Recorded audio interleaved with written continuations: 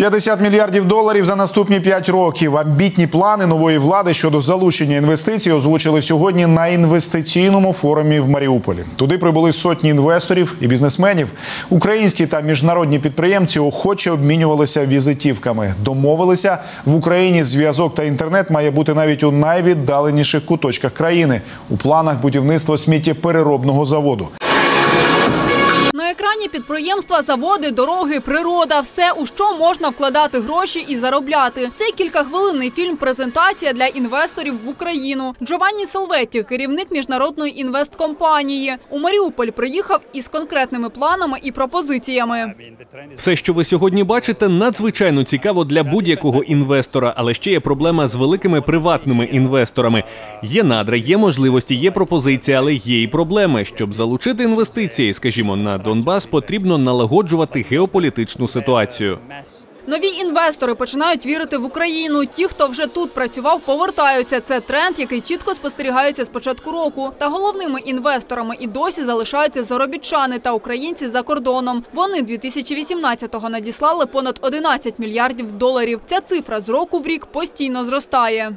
Бачимо, що є зацікавлення від сторони іноземних інвесторів, і зокрема бачимо, що є е, більше навіть охота з інвесторів з діаспори. Е, І це дуже важливо, бо діаспора дуже велика. Поверх 20 мільйонів українців живуть поза межами України.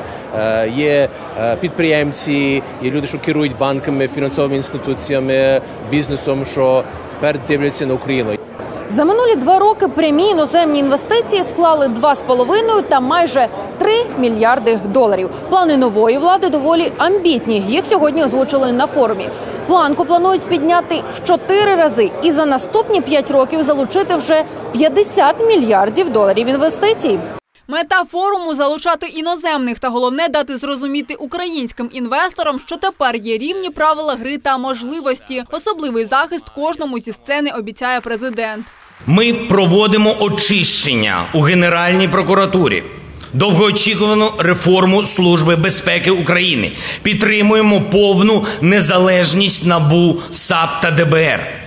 Я вірю, що розслідування гучних корупційних справ, а також резонансних убивств Павла Шеремета, Катерини Гандзюк та інших громадських активістів будуть не будуть належним чином розслідувані, а всі винні обов'язково покарані. Має відбутись не фасадна, а справжня реформа судової системи. Корумповані суди лякають інвесторів, лякають не менше за вибухи, чесно кажучи, та постріли. Усвідомлюючи це, ми нарешті запустили роботу Вищого антикорупційного суду, почали очищення Верховного суду та всієї судової системи.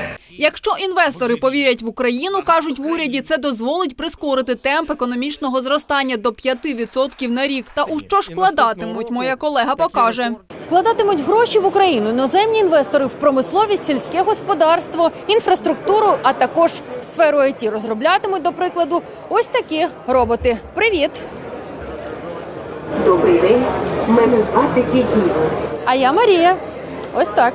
Без швидкісного інтернет-зв'язку на всій території країни теж нікуди. Вирішити ці проблеми взялися представники всіх телефонних операторів. Вони разом із прем'єром підписали меморандум про розвиток мереж. В кожному куточку нашої країни має бути доступний якісний зв'язок і інтернет. І ми в уряді з президентом і з чудовими нашими компаніями-партнерами зробимо для цього все необхідне. В пріоритеті і збереження природи 400 мільйонів доларів на екологію. Метинвест планує вкласти в модернізацію підприємств. Обіцяють, виробництво стане ще менше шкодити довкіллю. Бізнес і влада підписують меморандум. Сегодня в нашей стране тему экологии пытаются использовать для политических баталий, для дезинформации, для лженовостей.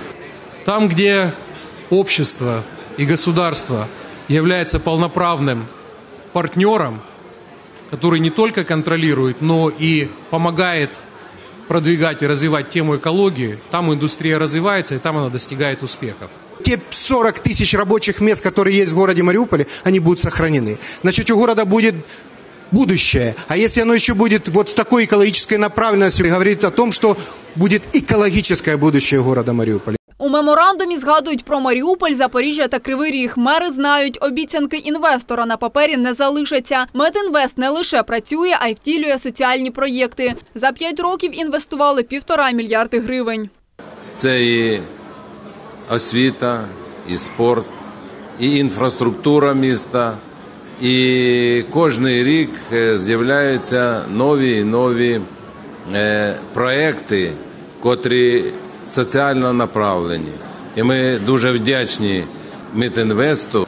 Ми якби продовжуємо ту роботу, яку ми вже ведемо не один рік. І ще хотів би сказати, побільше б таких інвесторів і спонсорів в кожному місті нашої країни.